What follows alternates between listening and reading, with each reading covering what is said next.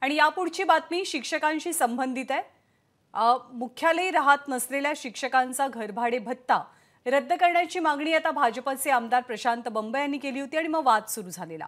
आता त्यांच्याच मतदारसंघातील खुलताबादच्या गटशिक्षण अधिकाऱ्यांनी मुख्याध्यापकांना एक पत्र पाठवलं आणि या पत्रात अशा शिक्षकांचा घरभाडे भत्ता या महिन्यापासून रद्द केला जाईल असं म्हटलेलं आहे. सप्टेंबरचा पगार शालार्थ प्रणालीमध्ये पाठवताना घरभाडं भत्ता समाविष्ट करू नये असे निर्देश गटशिक्षण अधिकाऱ्यांनी मुख्याध्यापकांना पाठवलेल्या पत्रात दिलेले आहेत. शिक्षक संघटनांनी या आदेशाला मात्र तीव्र विरोध दर्शवलाय.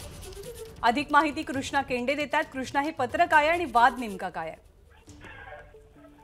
खुलताबाद तालुक्याच्या गट शिक्षण अधिकारी जे आहेत त्यांनी हे पत्र सर्व जिल्हा परिषदेच्या शाळेच्या मुख्याध्यापकांना काढलेलं आहे. आपण पाहतोय की भाजपाचे भाजपचे आमदार प्रशांत बम गेल्या काही दिवसांपासून याच मुद्द्यावरती आक्रमक आहेत की शिक्षक मुख्यालयी राहत नाहीत मात्र बनावट कागदपत्र करून घडभाडे उचलतात.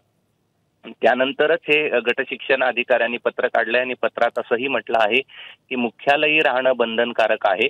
त्यामुळे या या वेळेचा पगार पाठवत असताना मुख्याध्यापकांनी जर शिक्षक राहत नसतील मुख्यालयी तर तसं त्या ह्याच्यामध्ये कळवावं. जर चुकीच्या पद्धतीनं मुख्याध्यापकांनी कळवलं तर ते स्वतः जबाबदार असतील आणि त्यांच्यावरती शिस्तभंगाची कारवाई केली जाईल असं देखील म्हटलेलं आहे. मात्र या सगळ्या पत्रानंतर आता जे शिक्षक संघटना आहेत त्यांनी याला विरोध दर्शवलेला आहे आणि काही शिक्षकांचं म्हणणं आहे की असा स्पष्ट कुठेही आदेश नाही आहे की शासनाकडून की मुख्यालयी राहावं. मात्र या पत्रातच गटशिक्षण अधिकाऱ्यांनी म्हटलंय की मुख्यालयी राहणं हे बंधनकारक आहे. त्यामुळे या शिक्षक आणि या गट शिक्षण अधिकारी आणि प्रशांत बम यांच्यामधील हा जो वाद आता निश्चितच या पत्रानंतर वाढण्याची शक्यता आहे. ज्ञानदा. कृष्णा धन्यवाद माहितीबद्दल. एबीपी माझा.